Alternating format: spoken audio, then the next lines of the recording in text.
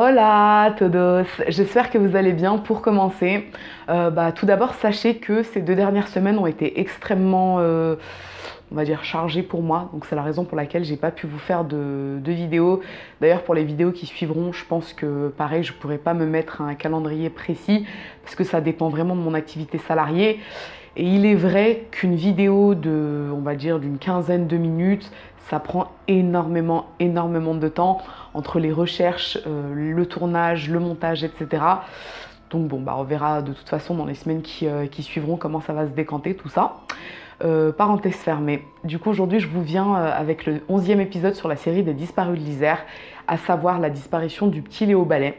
Et pour cette disparition, bah, j'ai pas trouvé énormément de choses, mais je vais pas vous en dire plus. Je vais vous laisser vous poser tranquillement, et puis bah, je vous dis à tout de suite. Léo, 6 ans et demi, a disparu une heure seulement après avoir posé pour cette photo. C'était le 19 juillet dernier, il bivouaquait au bord de ce lac de montagne, et c'est en allant chercher de l'eau qu'il s'est mystérieusement volatilisé à quelques dizaines de mètres de son père. Plus on cherche et moins on le trouve, donc c'est évident que s'il n'est pas dans cette montagne, euh, l'hypothèse de l'enlèvement euh, vient, vient maintenant en, en premier. On est le 19 juillet 1996 à Livet-et-Gavet, c'est une petite commune en Isère. Léo Ballet, un enfant de 6 ans, part faire du camping à la montagne au lac Fourchu avec son papa et trois amis de, son papa. Pour replacer un peu le contexte familial, Myriam, la maman de Léo, et Alain, son, son, son père, se sont séparés quelques années auparavant et c'est donc Alain qui en a obtenu la garde. Ce jour-là, il fait beau, c'est les vacances. Léo est très content de partir faire du camping avec son père. Et euh, du coup, la journée se passe relativement bien. Aux alentours de 17h30, deux des trois amis euh, d'Alain décident d'aller récupérer de l'eau à une cascade qui se situe à 1 km euh, du campement. Ça correspond à quoi? Même pas 15 minutes à pied. Donc les deux partent. Et au bout de quelques minutes, la troisième amie décide de les rejoindre pour leur porter main forte ou pour voir un peu le paysage.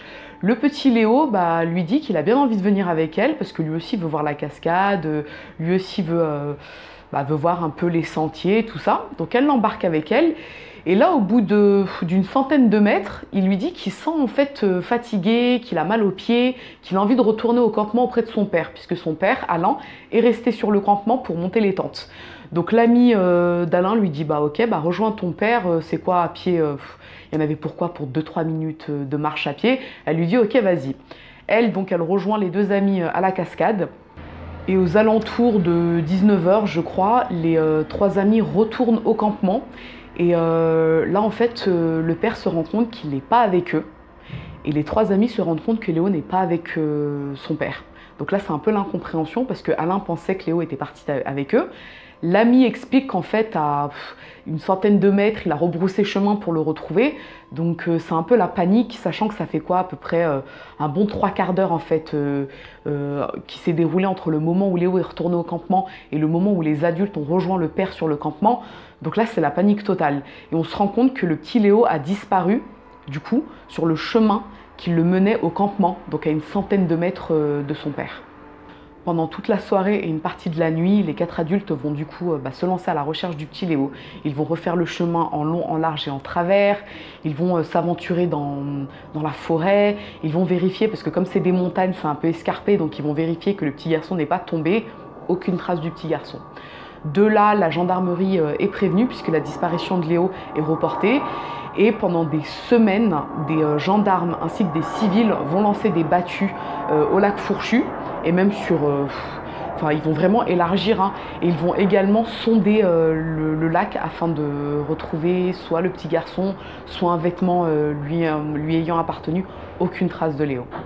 Dans un premier temps, on va privilégier la piste de l'accident, puisque comme je vous l'ai dit, c'est dans le massif, euh, il y a voilà, les montagnes, c'est escarpé, donc on se dit peut-être que le gamin, euh, en rentrant au campement, il est tombé, euh, il a eu un accident. Mais en fait, ça paraît peu probable, parce que déjà, d'une part, il y a quoi? Il y a une centaine de mètres qui séparent l'endroit où l'a laissé l'ami de son père et le campement. Et d'autre part, Léo, c'est pas un garçon désobéissant, téméraire. En gros, il serait pas aventuré au-delà du sentier. Du coup, la piste de l'accident, voilà, on la met un peu de côté. Ensuite, on va penser à la piste de l'enlèvement. Mais là aussi, on se pose des questions parce que enlever un enfant en pleine montagne, disons que c'est vrai que c'est un peu du jamais vu, euh, genre un adulte les aurait suivis, il aurait attendu que l'enfant euh, soit seul sur ces quelques minutes de chemin pour l'enlever. Pour les enquêteurs, en fait, euh, cette piste-là aussi, elle n'est elle est pas du tout probable. Cela étant, même si cette piste n'est pas privilégiée par, par les gendarmes, il s'avère que des témoins lors de leur déposition auprès euh, des enquêteurs, vont affirmer, donc plusieurs témoins vont affirmer que la veille de la disparition de Léo, ils ont aperçu un homme suspect qui rôdait, qui, euh, regardait de façon très suspecte les enfants, euh, sur le parking en fait qui permet l'accès au campement. Donc on se dit c'est une coïncidence un peu, un peu troublante. Il était à bord d'une voiture immatriculée dans les Bouches du Rhône, donc 13. Malheureusement pour les, les enquêteurs, cette piste ne va rien donner.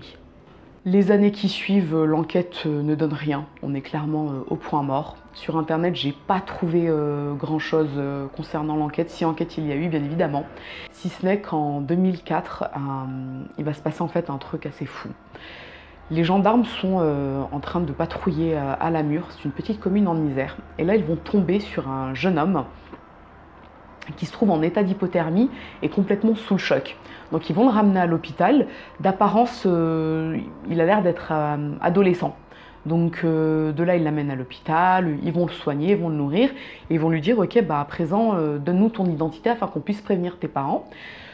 Le garçon va leur dire bon ok, euh, de prime abord en fait il va être un peu craintif, un peu sur la réserve et là il va leur dire bon en fait c'est moi, je suis euh, Léo Ballet et j'ai été enlevé en 1996 et là j'ai pu m'échapper en fait euh, de chez mes tortionnaires et du coup je suis revenu en Isère pour retrouver mes parents, tout ça, tout ça.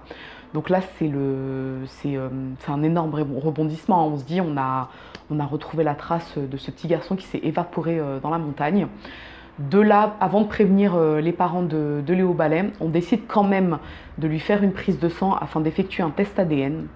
Et quelques jours plus tard, on se rend compte que ça ne matche absolument pas. Il ne s'agit pas de Léo Ballet, mais de Frédéric Bourdin, un usurpateur, on va appeler ça comme ça, un usurpateur qui a déjà été condamné par le passé pour avoir euh, usurpé l'identité euh, d'enfants euh, déclarés enlevés ou disparus, dont la disparition du petit Nicolas Barclay en 1994. À savoir que depuis, il a fait son mea culpa, il a à présent une vie de famille, les pères, tout ça, donc même si c'est pas cool, bon, il a, expliqué les raisons pour lesquelles il a à plusieurs reprises usurpé des identités d'enfants euh, disparus.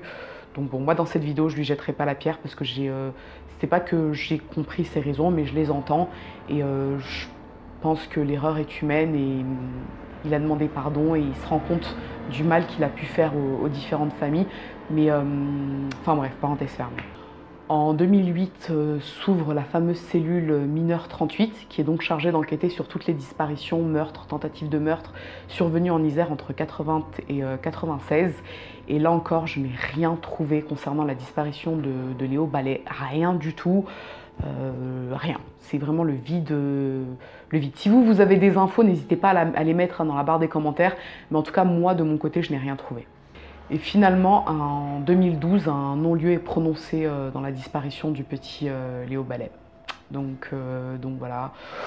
Bon, j'avoue que je comprends pas trop en fait ce non-lieu, puisque dans la mesure où on considère qu'un enfant séquestré, enfin vous savez, comme pour les disparitions de Ludovic Jandier, Charazette Bendouillou, etc., on avait considéré que dans la mesure où ces enfants sont, on va dire, séquestrés, voilà. Du coup, l'action, en fait, euh, je crois qu'on appelle ça une action juridique, ne peut pas s'étendre tant que l'enfant n'a pas été retrouvé.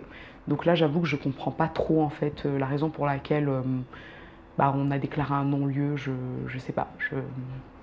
Ça me ça m'attriste hein, pour les parents, puisque c'est quand même pas c'est quand même dur en fait euh, de se dire que notre enfant a disparu et que la justice bah, décide de ne plus jamais rien entreprendre. Après mon avis sur cette histoire, bah, je vous avoue que j'en ai pas. Parce que euh, comme il n'y a pas beaucoup d'éléments sur internet, c'est très très très difficile de se faire une opinion sur la question. Au début, moi je me suis dit peut-être que euh, le petit garçon en retournant au campement a été attaqué par un animal sauvage et que du coup l'animal, ah c'est horrible de dire ça, mais l'animal l'aurait Après, je me suis dit, on aurait quand même trouvé des vêtements, du sang, tout ça. le fait qu'on pense à un accident, même moi ça me paraît peu probable, puisqu'on aurait là aussi retrouvé des éléments, une basket, un vêtement, peu importe quelque chose, mais on n'a absolument rien trouvé. Donc il est vrai que même si j'ai pas d'avis, même si j'ai pas de, réelle opinion sur la question, je privilégierais plus dans un premier temps la thèse de l'enlèvement, puisque bah, c'est celle qui me paraît le plus probable du fait qu'on n'a absolument rien retrouvé, euh, encore une fois, en termes de vêtements, sang, etc. Donc je me dis euh, peut-être que ça peut être un enlèvement et que le fameux euh, homme suspect surpris par plusieurs témoins serait le coupable je sais pas. Moi, je sais, franchement, je sais pas du tout. Si vous, vous avez une idée, une opinion, des éléments euh, supplémentaires à ajouter, hein, parce que bah, j'ai pas la science infuse, hein, donc il y a peut-être plein d'infos que, que j'ai laissé échapper euh, en faisant mes recherches, n'hésitez pas à les mettre euh, dans la barre d'infos. Et puis, bah, ma foi, ce sera tout concernant la disparition du petit Léo Ballet. Si cette histoire vous a intéressé, à défaut de vous avoir plu, n'hésitez pas à me mettre un petit j'aime et surtout, n'hésitez pas à vous abonner, c'est encore mieux. Je vous dis à très bientôt.